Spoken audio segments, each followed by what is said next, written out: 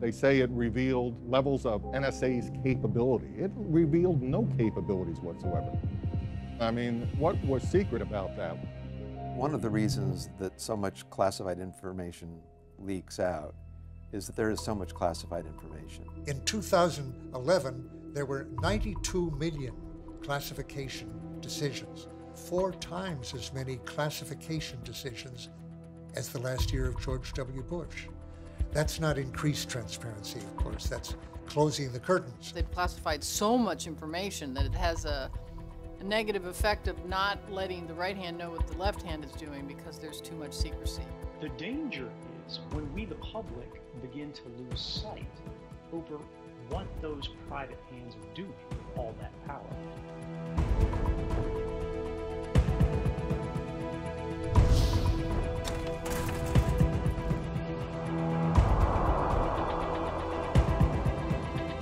Classification can be deliberately abused to deny information to others for political reasons, for reasons of precluding embarrassment, and it, it definitely contributes to uh, a lack of accountability.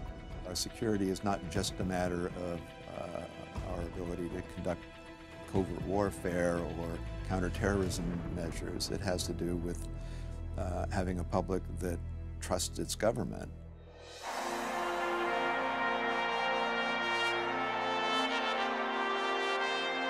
The Obama administration came to power promising the most transparent administration in history.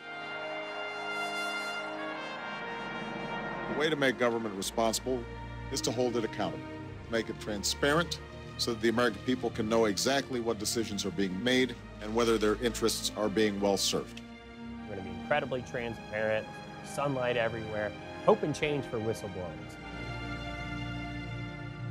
But all that quickly darkened. I never imagined that he would just run with it and take it far beyond even what the Bush administration had implemented. When he became president, I think that he tipped much more towards being protective of the secrets.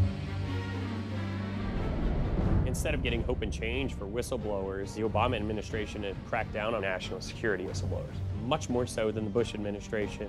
This administration has been using the Espionage Act to, to, to take whistleblowers to court. Divulging that kind of information is a serious issue and, and always has been. They have indicted more people for uh, violating secrecy than all of the previous administrations put together. Unfortunately, the climate in the Obama administration is just not good for national security whistleblowers. I remember telling my immediate supervisor, what are we doing? And here he is telling me, don't worry about it and don't ask any more questions. Secrecy is always the linchpin of abuses of power. We agreed to give our government a huge amount of power without asking, are you using it correctly and what are you achieving?